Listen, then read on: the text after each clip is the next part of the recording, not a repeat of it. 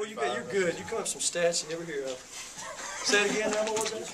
Thirty-five SEC road wins since your first year, most in the West, fourth overall. Well, hey, only one matters the next one, don't it, Greg?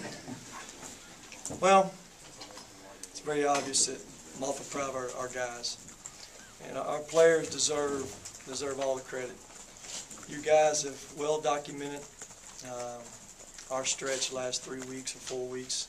And- really, basically all season, what we've, what we've had to go through. And, uh, for these guys, uh, right now, to fight through some things they've had to fight through, um, stay together and keep believing. Uh, it's not easy. If there's ever a teaching point in life, there it is again. And uh, I'm proud to be able to do that. The win is very sweet.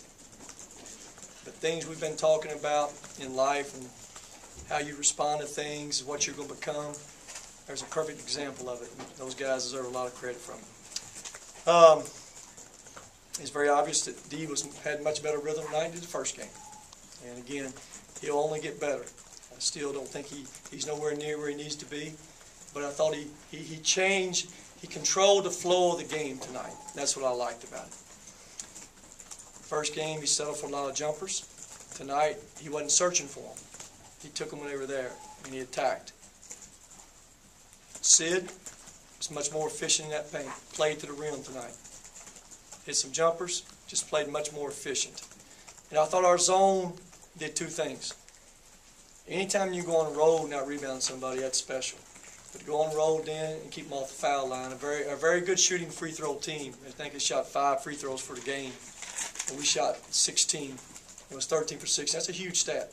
Free throws, now rebounds some on the road are huge stats, and we won both those categories. So, all for proud of our players. Feel like uh, Sidney kind of fed off the, the environment and everything. No, I don't. I don't. I don't think that is. I mean, I just think, you know, um, I thought he controlled his motions really well. Um, I thought he played with some emotion. And that's good. You know, it's, you know, I hope he feeds and plays off wherever you're at, at that way. And again, the thing I understand with him that sometimes gets that everybody doesn't understand. You know, he's a freshman, and there's no substitute for experience. The experience he had the last game, he made a huge improvement to this game. He attacked that rim. He got in that paint. You know, Saturday he, he had a lot of fall away jumpers.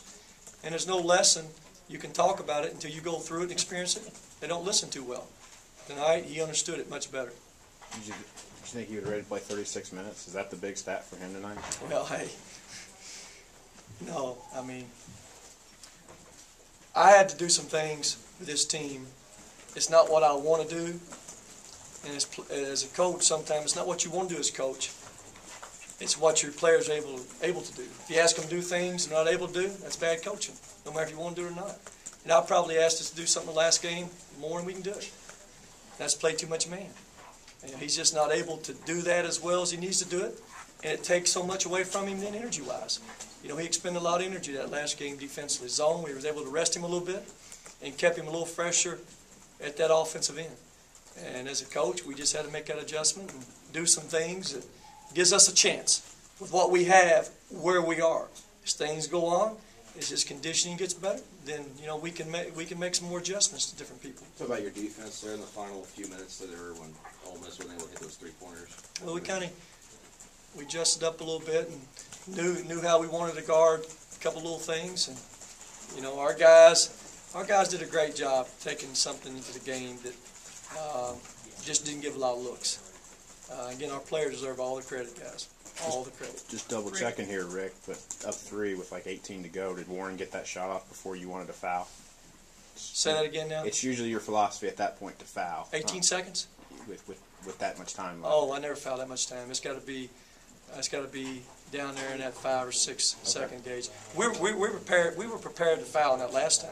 Right. Nine seconds ago, you're up three, shooting two free throws. If we miss two, if we miss them both, we're prepared to foul. Then Okay. we're going to foul. Don't bring that up. Don't bring that fouling up because last time I fouled, hey,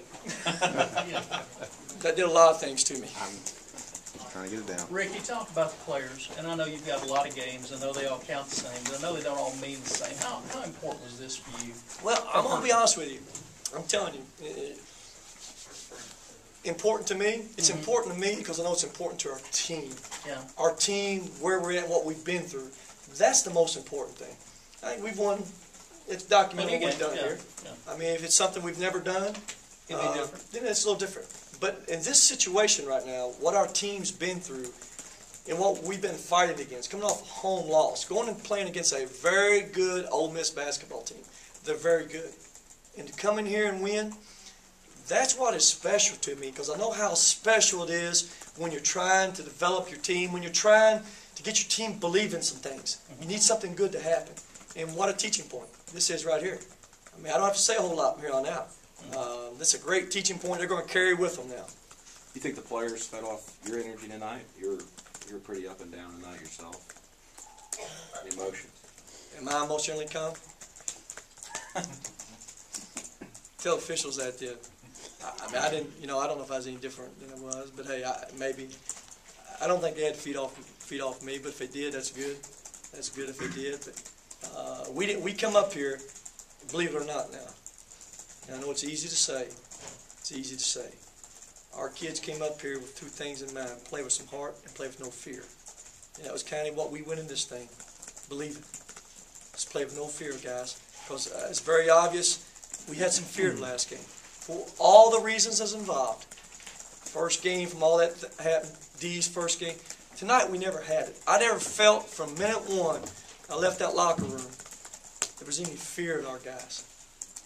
I like that about it. You Talk about doing this without Ravern really playing that well. That's a, I think that's a plus and a positive.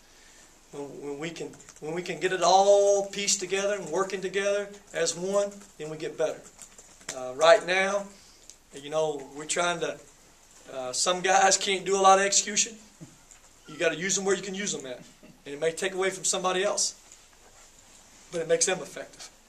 If we can get a little more bounce in what we're doing, that helps. every- It helps the team. The team to get better, and that's only going to come in time. I mean, uh, only time.